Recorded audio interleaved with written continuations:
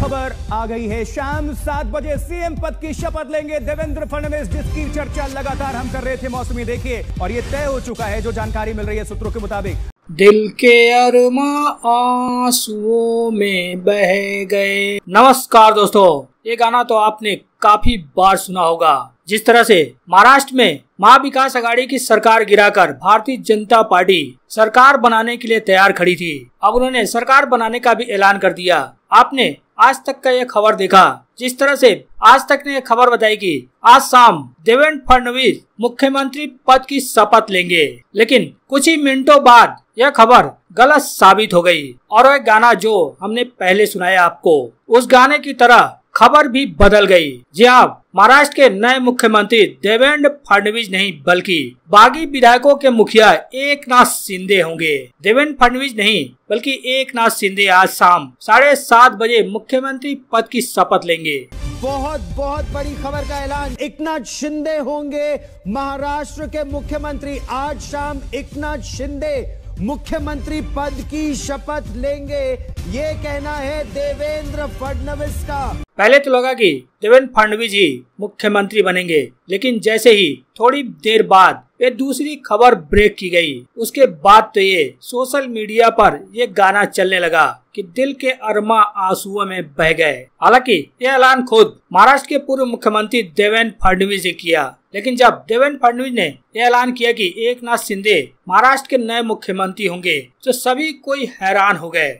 लेकिन अब जो खबर सामने आई है, देवेंद्र फडणवीस महाराष्ट्र के डिप्टी सीएम बनेंगे, न कि मुख्यमंत्री। लेकिन देवेंद्र फडणवीस किंग से किंग मेकर क्यों बने?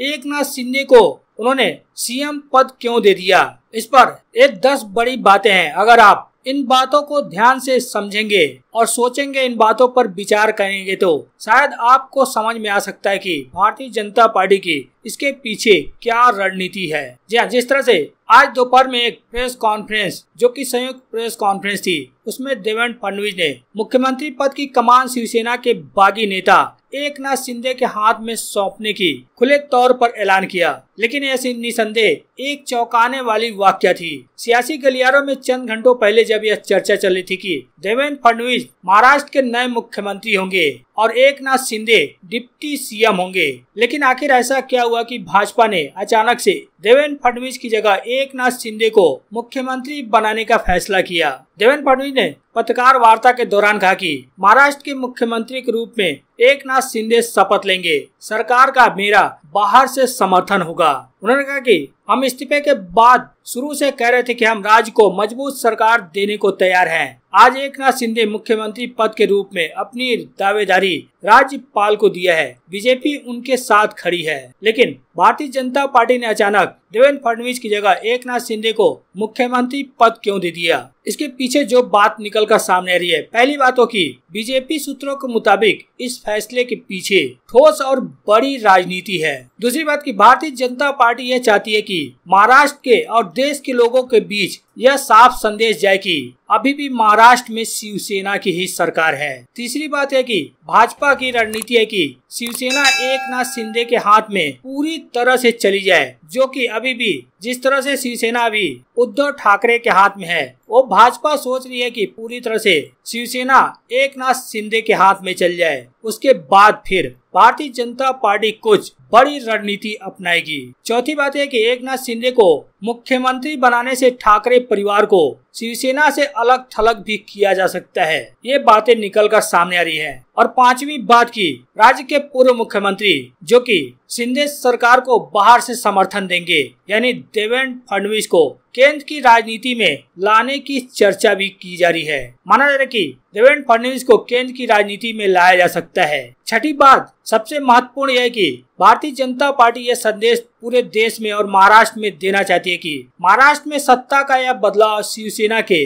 अंदरूनी मतभेदों के कारण हुई है। और सातवीं बात की, एक नाथ शिंदे को मुख्यमंत्री बनाकर भारतीय जनता पार्टी कहीं न कहीं उद्धव ठाकरे और उनके परिवार से बदला लेना चाहती है। जिस तरह से गौरतलब है कि 2019 में उद्धव ने बीजेपी का सीएम नहीं बनने दिया था, इसको लेकर माना जा रहा है कि उद्धव ठाकरे से भारतीय जनता पार्टी बदला लेना चाहती है। और आठवीं बात जो है एक नाथ शिंदे को महाराष्ट्र का नया सीएम बनाने से माना जा रहा है कि, यानी भारतीय जनता पार्टी इस बात को मान सकती है कि जितने भी शिवसेना के बचे खुचे नेता विधायक हैं वो भी एक नाथ शिंदे के कैंप में जुड़ सकते हैं। अब सबसे बड़ी बात की, महाराष्ट्र के आगामी विधानसभा चुनाव में, यानी बीजेपी को अगले चुनाव में एक नाथ शिंदे को महाराष्ट्र का सीएम बनाने की वजह से फ़ायदे की उम्मीद भी है। और सबसे बड़ी बात यह और दसवीं बात जो है की शिवसेना जिस तरह से कमज़ोर हुई है, चालीस बयालीस विधायक जिस तरह से शिंदे गुट में चले गए हैं, उससे माना जा रहा है कि शिवसेना के कमज़ोर होने से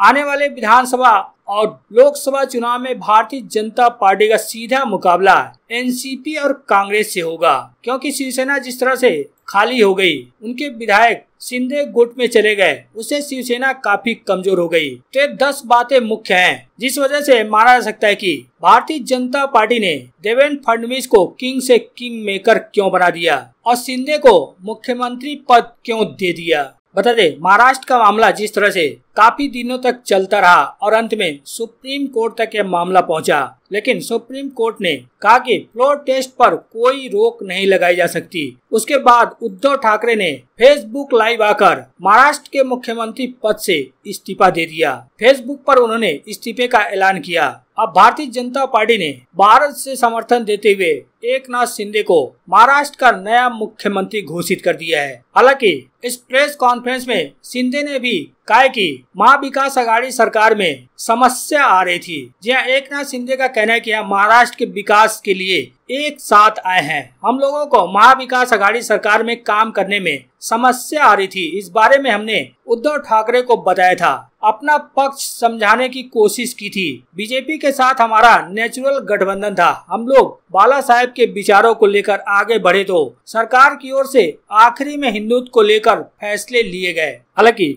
एक नाथ शिंदे के मुख्यमंत्री चुने जाने के बाद एनसीपी के मुखिया शरद पवार ने अपनी पहली प्रतिक्रिया दी है। शरद पवार का कहना है कि एक नाथ शिंदे को महाराष्ट्र के नए मुख्यमंत्री के रूप में चुने जाने पर बधाई। पूरी उम्मीद है कि उनके द्वारा महाराष्ट्र के हितों की रक्षा की जाएगी। उनका कहना है कि शरद पवार ने आगे लिखा कि यशवंत राव चौहान बाला साहेब भोसले और पृथ्वीराज चौहान के बाद सतारा ज़िले से व्यक्ति को मुख्यमंत्री बनाए जाने को लेकर वो बहुत खुश हुए हैं। बता दे एक नाथ शिंदे इससे पहले शिवसेना के कुछ विधायकों के साथ गुजरात से सूरत गए और फिर असम के गुवाहाटी गए। गुवाहाटी पहुँचने पर उनके खेमे में शिवसेना और कई विधायक शामिल हुए। शिंदे कुछ निर्दलीय विधायकों के साथ 50 विधायकों के समर्थन का दावा कर रहे थे। हालाँकि एक नाथ शिंदे को महाराष्ट्र का नए मुख्यमंत्री बनाए जाने को लेकर अब तक शिवसेना की तरफ़ से या फिर उद्धव ठाकरे की तरफ़ से कोई प्रतिक्रिया सामने नहीं आई है। लेकिन कहीं न कहीं देवेंद्र फडणवीस की जगह एक नाथ शिंदे को महाराष्ट्र का मुख्यमंत्री बनाकर भारतीय जनता पार्टी ने बड़ी रणनीति चली है। आपको क्या लगता है, भारतीय जनता पार्टी ने ऐसा क्यों किया होगा? आप अपनी राय कमेंट बॉक्स में ज़रूर दें।